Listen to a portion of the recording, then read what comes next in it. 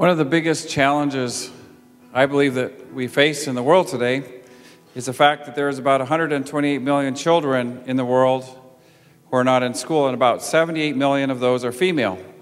And if we wanted to, we could eradicate global illiteracy in the next decade. And by me, I mean the global community, not just the United States, but the global community.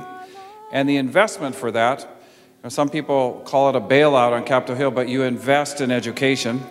Um, the, the is about $6 billion a year for 10 years. Now that sounds like a lot of money, but it's about 5 to $10 per month per child.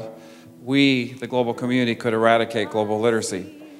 In Afghanistan, there was about 800,000 children in school. This is before 9 11, at the height of the Taliban. They were nearly all boys. And today, there are over 8 million children going to school in Afghanistan, including 2.8 million females. This is the greatest increase in school enrollment in any country in modern history. We have a very innate desire to help people. And we like to help people because of our conscience or intuition or faith or sometimes out of guilt, right? But if we really want to help somebody, we have to empower them. There's a big difference between helping and empowering. And as I mentioned before, empowering, the key in that is education. If we can somehow glean from our elders, tap into their wisdom and courage and knowledge. But then we can impart that with our children and our youth who are really going and wanting to do community service.